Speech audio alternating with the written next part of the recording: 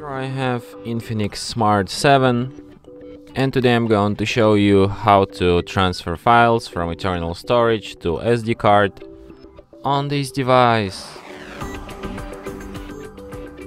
Firstly you should open uh, my device or storage or like files application. Let's find it. So we have these files here.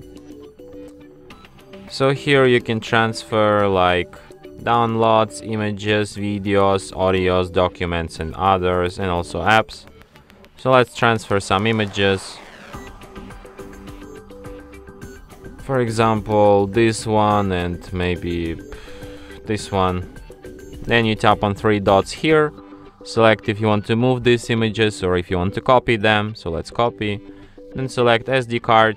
Select which folder for example pictures and tap copy here and as you can see now we have these images not only on our device but also we can find them on SD card in this pictures folder.